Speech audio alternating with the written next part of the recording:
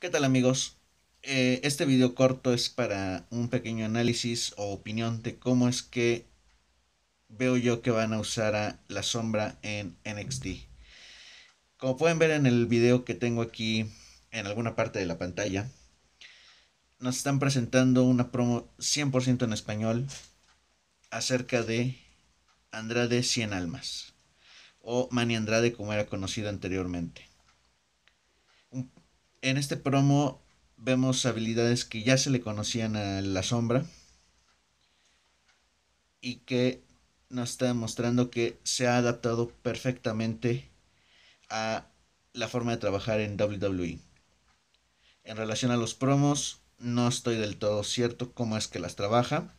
Habrá que esperar a ver cómo las desarrolla.